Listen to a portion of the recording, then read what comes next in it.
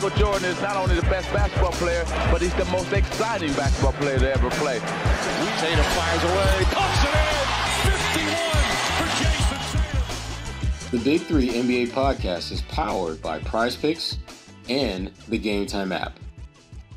Hello, folks, and welcome to another edition of the Big Three NBA podcast. I'm A. Sherrod Blakely, and I'm joined by the one and only, the award-winning Keith Pompey of the Philadelphia Inquirer. What's going on, Keith?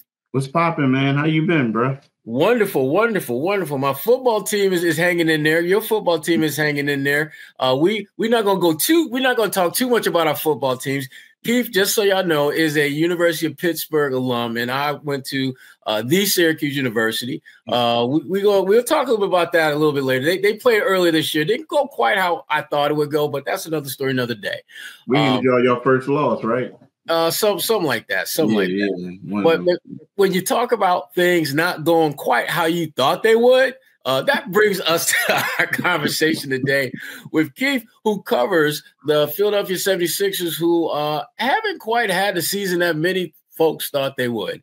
And you know, there's a lot of, I mean, there's there's so much on the, on the plate to talk about with these with these cats, Keith. But you know, the, the biggest thing right off the bat is that you know this this was a team that many thought was going to challenge uh, the Celtics uh, for supremacy in the East, and basically the Sixers have just been challenged Period. Uh, mm-hmm. the three and twelve. Uh, the only team with a worse record in the Eastern Conference than them is the Washington Wizards. Uh, and there's a lot of different factors, and, and, we're gonna we're gonna delve into many of them uh, right off the bat. Keith, you know, Joel Embiid, you know, he is the the center of everything and anything that is Sixers basketball. And obviously, when they played well, he's been a big part of that. And when they've not played well, he's been a central theme.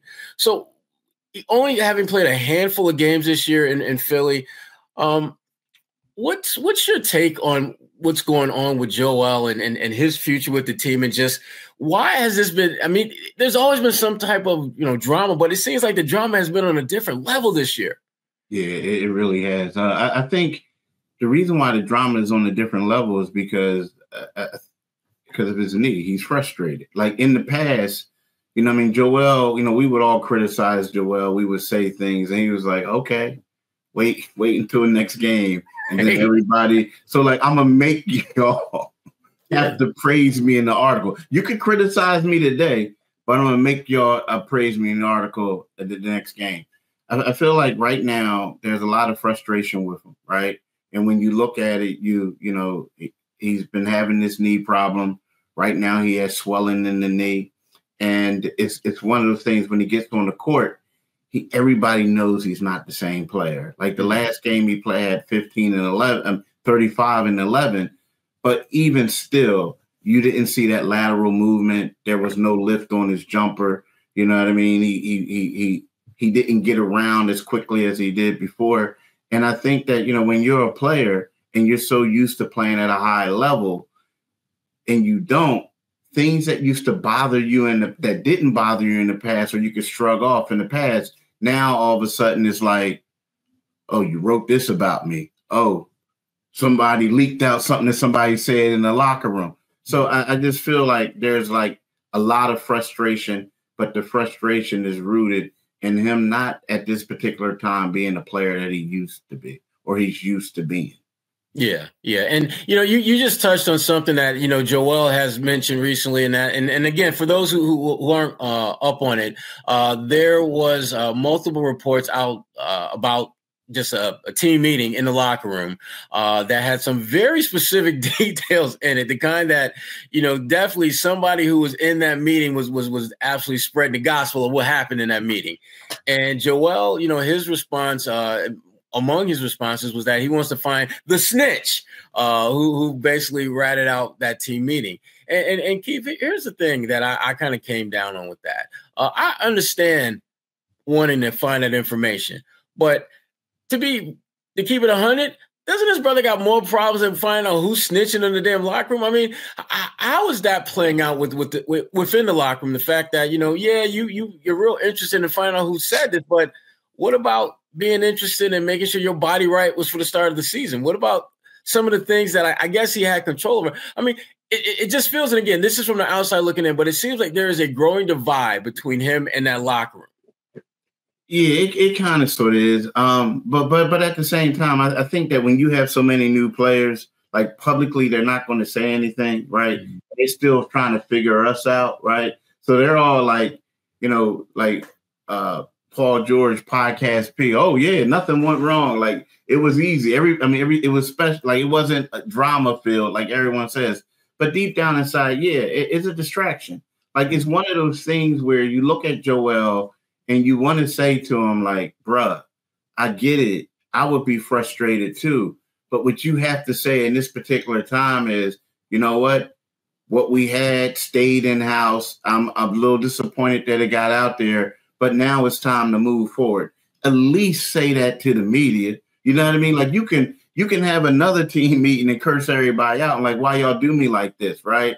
Mm-hmm. But at least to the media, just say, you know what? I'm just going to move forward. Because now what it looks like is we talk about a team divide, but it makes him look worse because is now the, the thing is, well, well, day he didn't heed what they were saying in the meeting.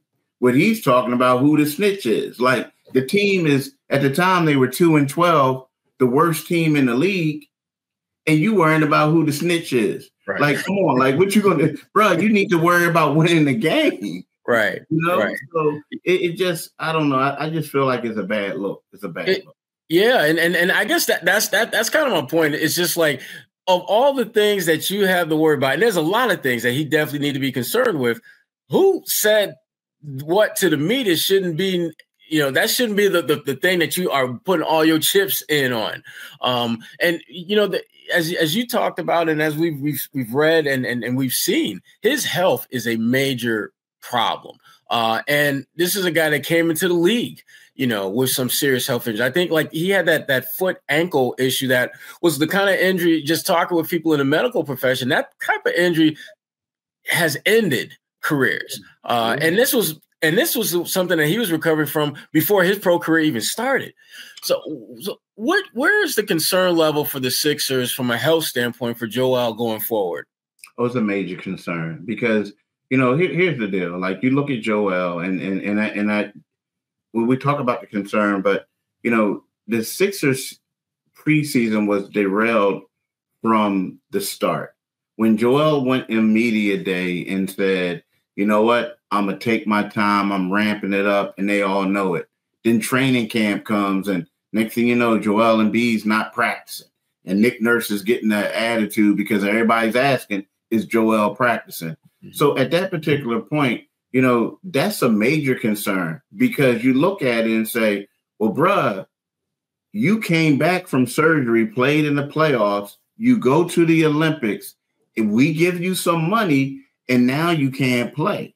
And now you look at it, before they kept saying load management, right? Right. Load management.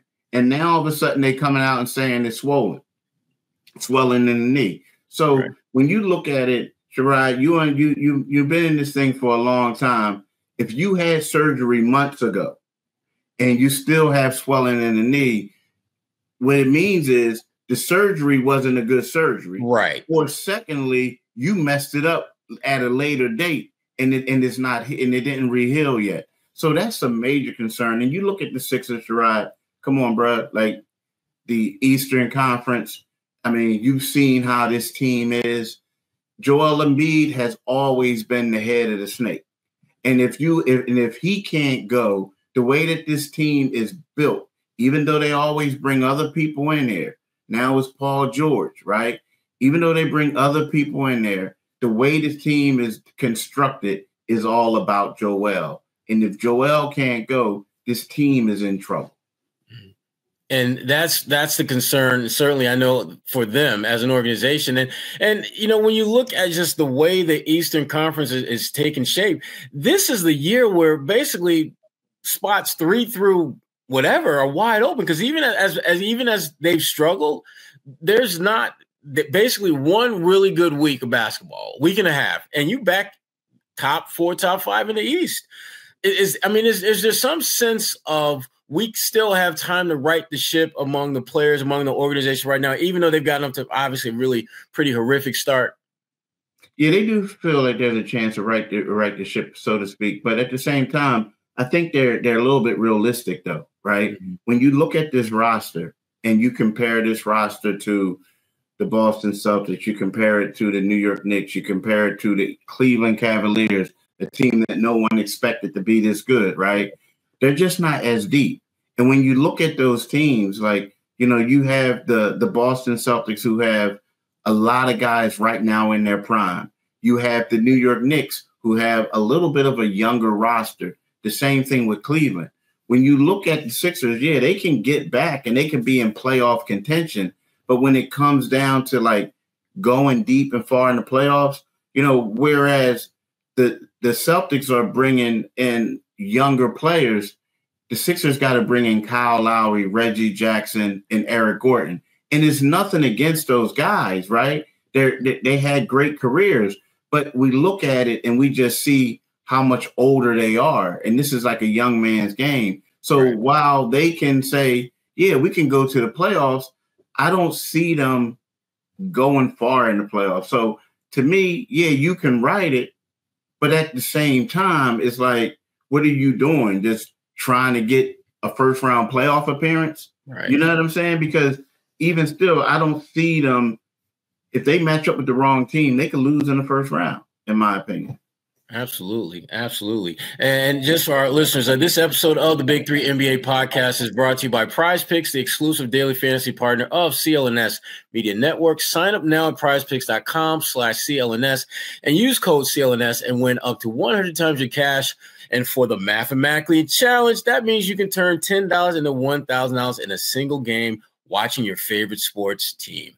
Uh, and a special shout out to Game Time app, which takes the guesswork out of buying last minute tickets to your favorite sporting events. Just download the Game Time app, create an account, and use code CLNS for $20 off your first purchase. Terms apply. Now, Keith, I wanted to keep it moving a little bit and, and, and you know, kind of pivot from a guy who ain't really doing a whole lot to a guy who kind of is balling a little bit. And I'm talking about Tyrese Maxey. When he's been healthy, he's been really, really good. But he's also, and again, sounds like he's also becoming growing increasingly frustrated with what's happening in Philly. How his how do you think he is? You know, just kind of dealing with a lot of things that clearly he didn't sign up for when he, you know, as he kind of asserted himself as one of the better players on this on this franchise. Yeah, you know, it's it's weird because you know Tyrese is a nice guy, right? And mm-hmm. and he, I think, you know, the losing everything when when you come in there and you you're a guy, you you're making more money now. You want to go out there, you want to assert yourself, you want to do this, you want to do everything you can for the team to win. And and I feel like when the team starts struggling, you know, sometimes you put a little bit more pressure on yourself, right? I, I think that's what he was doing offensively, and they're not working out. But then also he also right now it's not just that I don't think he's totally 100% frustrated. It's just that he realizes that he has to be the leader of this team. That's what Kyle Lowry, that's what Nick Nurse, that's what they all want. So it, he has to take it upon himself at times to get out of his comfort zone and then step up and say stuff, right? But mm-hmm. I think that, you know, a prime example, like there was a time before Paul George and Embiid came back that and we talk about frustration where he was out there playing and this brother was taking 30 28 29 shots a game and right. they were losing. I mean he was and he was tired playing 42 minutes you know stuff like that. And it gets to a point where you know you look at it like i just got a max deal. I'm an all-star and i got to win for this team. Everybody's right. dependent on me. And and that's how he got injured man. He was playing too many minutes that's how he strained his uh, right hamstring. So, you know, I, I feel like, yeah, it's frustration, but it's frustration and like, I'm trying to do whatever we can to keep us afloat because at the end of the day, he wants to be there with the Celtics and the Cavs, you know what I mean, in the Knicks. But so that's where the frustration lies. And and like, you know, but he does, you know, I, I give him respect. He has been more of a leader this year than in seasons past. Now, how has it been since that report came out about him basically, he basically called Joel out? How has the relationship been with Joel? I mean, is there a noticeable difference that you can see in that locker room or even on the floor? It's hard to say on the floor because Joel don't really play. Uh, but in the locker room, is is there any any change that you see or sense between those two? No, I, I I I haven't. Like when he was on that road trip, I didn't go on that one particular road trip. But after that, though, you have you saw him talking, you see him chatting and everything. And the thing about Tyrese, like of of uh I would have to say of just about of all the all-star caliber teammates that Joel has had, Tyrese is by far the closest one to him, right? So I think, oh yeah, he's the closest. Really? It ain't even close. Oh yeah, he's the closest. Because see, you got to understand something. When when when Joel and Ben Simmons came, it was kind of like both of them was trying to be the man. Right. Like right. they were trying to be the man. To me, when James came, James was like low key trying to be the man until he got hurt. You know what I mean? It was right. like one of those. Well, Maxey is kind of like, yo, I just want a ball, man. Like right. I'm here. I just want a ball. And then Joel was the one who told him, like, nah, bro, you gotta start looking for your own shot, man. Like mm. you kicking the ball up, you like you got to go in there and get it. Don't worry about me. Get yours. I'm gonna get mine. You right. get yours. And it that's how, to be honest with you, that's how Max became an all-star last year with that two-man game. So they have a pretty good relationship. But but also I feel like that's the reason why that Maxey was the one who had that conversation with him. Because right. believe me, he wasn't the only one that felt that way, right? And you know, you you you know you covered the Celtics, you you covered um, the Pistons. You know what veteran a veteran locker room is like. Right. You know the things, the do's and the don'ts. And I feel like you got all these guys like Kyle Lowry was here at the end of last year. You got Paul George. You got Eric Gordon. You know you got Reggie Jackson, and all these dudes are looking around like, bro, this ain't how we do things at other teams, right? So mm-hmm. what happens is, it's like, all right, young buck, you supposed to be the leader, this and that. Go talk to your man. You yeah. know what I mean? So again, I don't have any proof that's how that went down, but it makes the most sense because of their relationship, and he's been here the longest. So yeah, yeah, it hasn't been a problem. Yeah, and that that actually that that makes sense because for for Joel to I think take that and not be completely you know, pissed off and and and you know, wanting to fight somebody, it has to come from somebody that he respects. And you're right, the role that he played in and and you know, in, in Maxey's evolution into a really good player, he's got a different kind of respect for him, and knowing that. Maxey ain't coming at him because he thinks he's a bum or he thinks he's trash or anything like that. Maxey's coming at him like that because Maxey wants him to be better.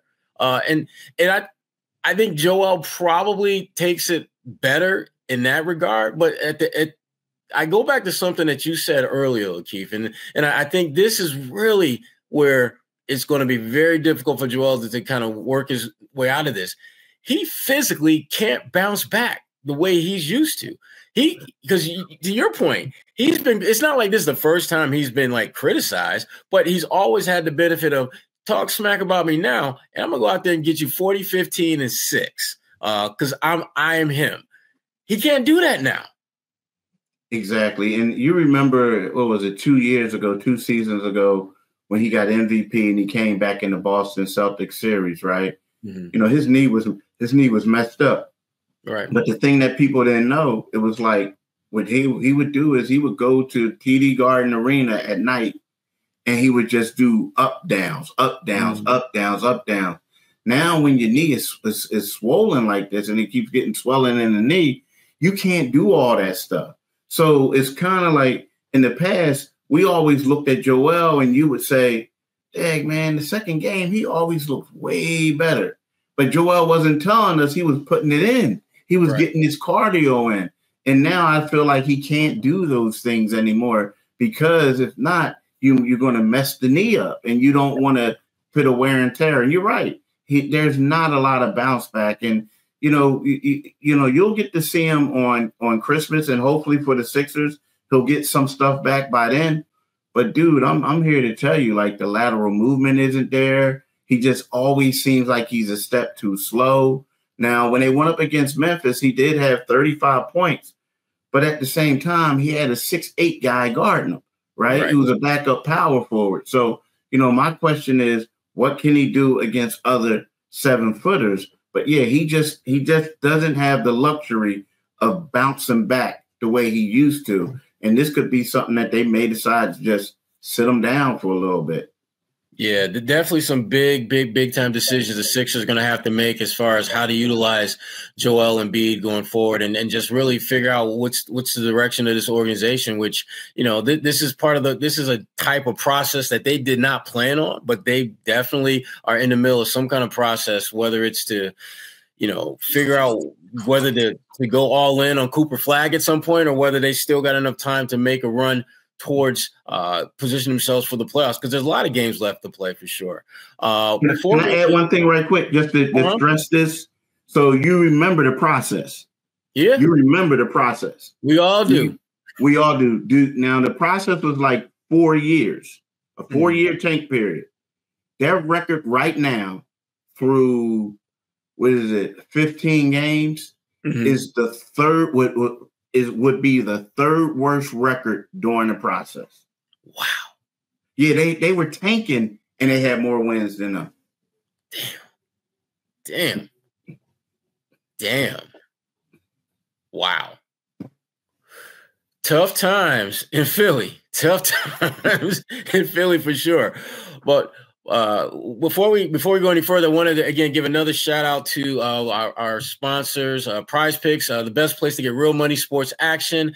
With over 10 million members and billions of dollars in awarded winnings, Prize Picks has made daily fantasy sports super easy and accessible to all. You just pick more or less on at least two players for a shot to win up to 100 times your cash Run your game all season long on Prize Picks. Uh, again, you can win uh, up to 100 times your money on Prize Picks with as little as four correct picks. Picks. Sign up today and get $50 instantly when you play $5. You don't even need to win to receive the $50 bonus. It is guaranteed. Uh, it's the best way to win real money this basketball season. Uh, you look at which players are going off, which ones aren't. Make your picks in less than 60 seconds and turn your sports opinions and, and, and, and feelings into real money all season long.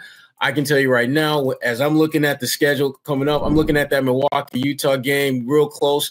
Dame Lillard, uh, if he scores uh, 24 or 23 and a half points. That's what we're looking at. Score more or less than that. I'm thinking he's going to score less than that because Dame Lillard has been scoring less than that consistently of late. Uh, I think five of his last six games, he's had 24 or less points. So I'm going to go less with that. And Collin Sexton, a point guard for the Utah Jazz, uh, looks like a one and a half three pointers is uh, more or less of uh, that shot will he make?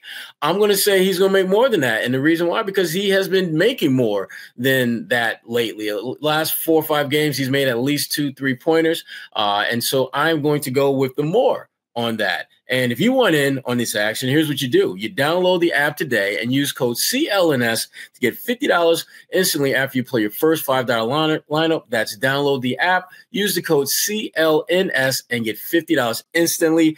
Prize picks run your game. Now, Keith, I wanted to get back and talk about the third member of the big three that we haven't seen. He's the newest member, uh, a guy that we haven't really seen as much of as a lot of people thought, which is kind of surprising because missing games ain't that kind of like PG 13's thing.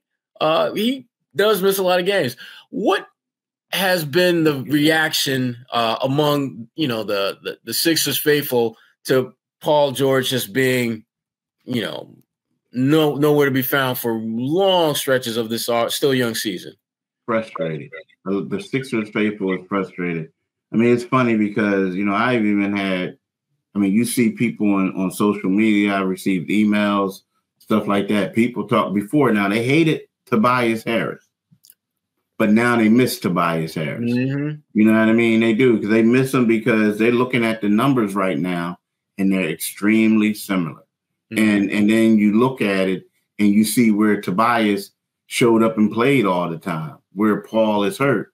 And it's, it's a little bit of frustration because, you know, the Sixers, let's be real, like, yeah, um, he could have got traded to the Golden State Warriors, you know, right. on the sign and trade. But in regards to free agency, the Sixers were the only team that was willing to give him what he wanted, that four year max. So they give it to him, and then you know the guy hyperextends his knee, and then he's out for three weeks. He's back for three weeks or two weeks, and then he hyper extends it, uh, extends it again. So you know, there's a little bit of frustration from the fan base, and and I think that a part of the frustration is because of the injuries. The second part is, you know, there was a time when when Maxey went out, and then Joel had yet to play, and they played against the Lakers, and then they had another game and team, and everybody thought they were saying it's going to be PG and the Miracles, like you know, Danny and the Miracles, right? That's what they were thinking. And then yep. you're looking at it, and yeah, he was getting assists, he was doing a lot of other things, but the scoring just wasn't there. He was struggling offensively. So you know this Philadelphia fan base how they turn on people, and they were extremely frustrated with Paul George, and they're extremely frustrated with him right now. Yeah, yeah, absolutely. And you know, he's a heck of a player when he's healthy, but that's a big win uh, when he's healthy. Uh, very tough, very tough. Uh, the Celtics, they're not going to see them till Christmas Day, but you can still, you know, there's still tickets available even at this early date. And one of the best places to get great prices on tickets is the Game Time app. Uh, for those of you who want to catch your favorite pro, teams, college teams, Game Tap is Game Time app is the place to be. Uh, my guy Keith here, as I mentioned earlier at the at the top of the program, is a University of Pittsburgh uh, grad. And when his uh, crew was playing my boys from Syracuse, I actually went on the Game Time app and thought about getting tickets. The prices were great, but I had a weird feeling, Keith, that that game was not going to be great, uh, at least not for my crew. And I was right. I was right. Uh, but for those of you who you know have a little bit more faith in your crew uh, can handle their business. Game time app is a great way to get into the games and get it at a great price. Uh, one of the really cool things i like about the game time app is the all-in pricing so that when you get to the checkout line the price that you thought you were paying will be the price that you'll actually pay as opposed to some other uh, you know uh, apps that kind of eh, the numbers get a little fuzzy at, in the end there. Uh, and before you even get to the checkout, you, they've got great panoramic views of all the seats, so you can not only get a great price, but you can get a great seat and know what that seat looks like before you actually have to buy the ticket for it. So again, and uh, when I, I was looking at the the uh, the game with uh, Actually, Pittsburgh is going to be in Boston playing BC in a couple weeks, and you can get in there for as little as four dollars, and you can get a super deal, which is a basically a, a cheaper version of a really great seat for great price. Just like you can see upper sideline at that BC game for as little as five dollars, uh, and that game will be November 30th at BC. Uh, and again, the, the tickets across the board are, are, super affordable when you go through the Game Time app. And so, look, all you got to do is download the Game Time app, create an account, and use code CLNS for twenty dollars off your first purchase. Terms apply. That's download the app, create an account, use the code CLNS, and get twenty dollars off.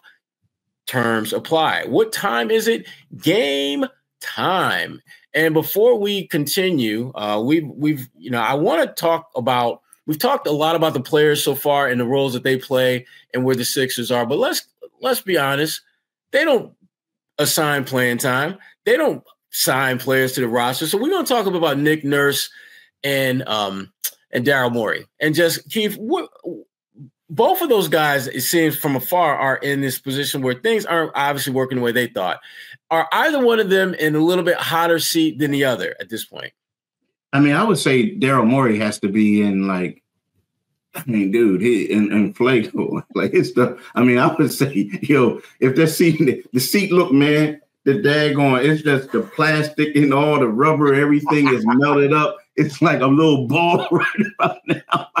You know what I mean? Forget hot. That's he burned. It's ashes right about now, right?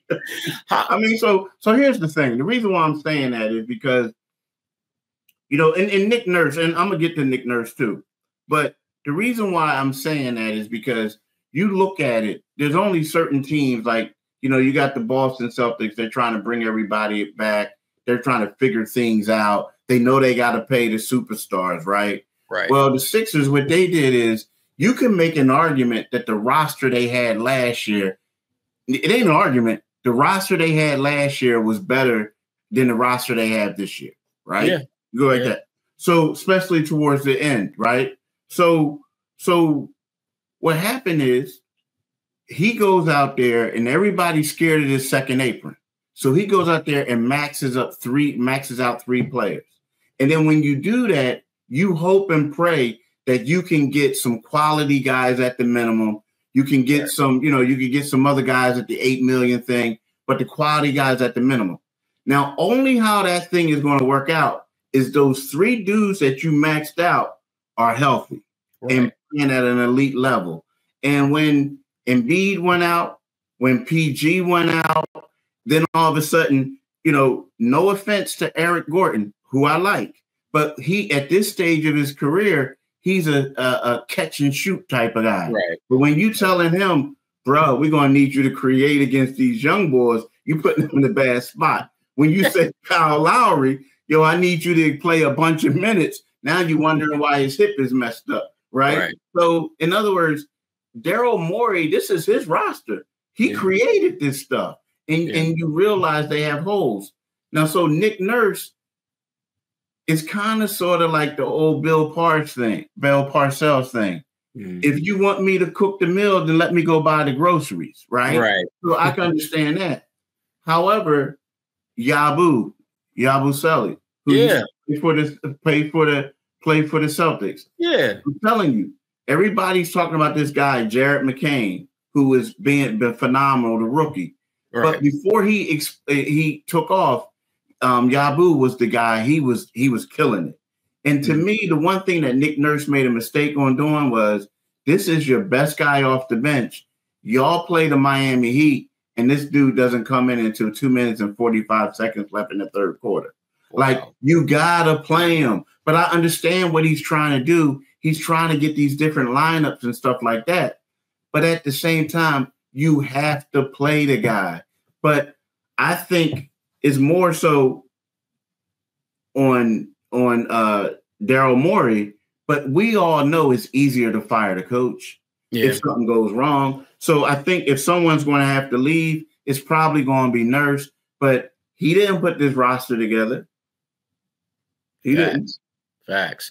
You you just touched on uh, Yabusele. How, why is it? Why do you think he's been able to fit in so well in Philly? Because I mean, obviously in Boston things didn't work out how he or the Celtics thought, and you know even after he left, it, it, he still seemed like a guy that was hadn't quite figured out or found his niche. Why does it seem like Philly has been such a good spot for him when at least when he gets a chance to play?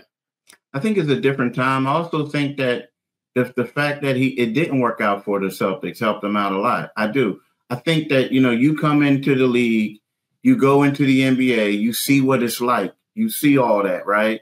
And then all of a sudden you go, you know, after two years he's playing in China, then he's right. back over in Europe and this and that, and you see the difference. And I feel like you know, I remember when I used to see him over there when he played for the Celtics. He was just a brother, big dude, smiling all the time, nodding his head. Am I right though? Am yeah, right? facts. Those so, are facts.